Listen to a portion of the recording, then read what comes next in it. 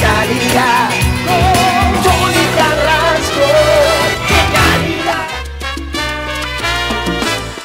Será el ambiente, la luz tan tenue. ¿Será que hablamos de algún tema en especial? ¿Será el perfume que me vence? ¿O el saber que estamos solos pero hoy me gustas más? ¿Será aquí afuera la luz tan tenue? ¿Será que hablamos de algún tema en especial? ¿Será el perfume que me vence? ¿O el saber que estamos solos pero hoy me gustas más? ¡Qué calidad, amigas, amigos! Gracias por estar en el programa. Buenas noches. Hoy tenemos, como siempre, un programa muy variado. Tenemos mucho que contarles. Tenemos contactos por Venezuela. Tenemos contacto internacional. Tenemos música con Elvis, que ya ha puesto el ritmito sabroso hoy. Pero además, tenemos un gran cantautor venezolano en el programa. Tenemos también el portero de Puerto Cabello, porque hoy vamos a hablar del fútbol. Además, hubo rueda de prensa. Comienza el fútbol venezolano. Buenas noticias. ¿Se acuerdan que les dije que no iba a decir nada? Pero ya lo puedo decir. Y es que el fútbol profesional venezolano de la primera división comienza mañana aquí en Canadí.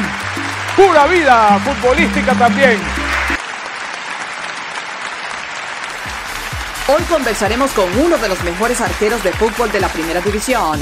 Según los conocedores de la materia, alguien que a pesar de tener solo 20 años, ha sabido defender muy bien el arco de sus equipos y nuestra selección sub-20. El guardameta del Gran Valencia tuvo una notable actuación durante la Liga Fútbol 2021, tras disputar 20 encuentros y sumar 1.773 minutos. Durante esta campaña, dejó en 7 oportunidades su valle en cero, lo que certifica su gran desempeño. Además fue nuestro representante masculino en la segunda edición en el día 1, un torneo realizado por la Dirección de Desarrollo del ente sudamericano, que reúne a los mejores guardametas sub-20 del continente.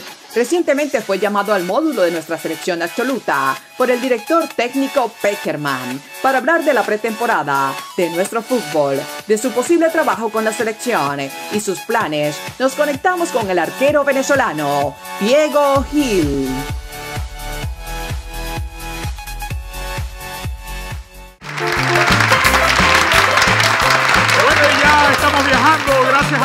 La videoconferencia. Nos va a recibir desde Valencia. Ahí está Diego Gil, guardameta venezolano, no solamente de la selección en los módulos de sus 20, sino que a sus 20 años sigue triunfando después de pasar por el Gran Valencia, ahora portero de la Academia Puerto Cabello. Diego, ¿cómo estás? Saludos. Tony, gracias. Todo bien, todo bien. ¿Tú cómo estás? Muy bien, gracias por atendernos y además en un día importante porque bueno, ya está comenzando la Liga Fútbol, ¿no?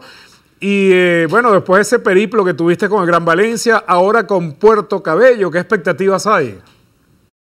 Oh, bueno, la- las expectativas siempre son las mismas, ¿no? De lograr grandes cosas, de trascender en el tiempo, dejando una huella en el club. Este, vuelvo a la academia después de un año en préstamo con Gran Valencia y, este año sea un año igual lleno de, de cosas buenas, de, de frutos para mi carrera y para el equipo conseguir puestos en Copa Internacionales y, competir ahí arriba con, con los grandes equipos para, para pelear la primera estrella, ¿no?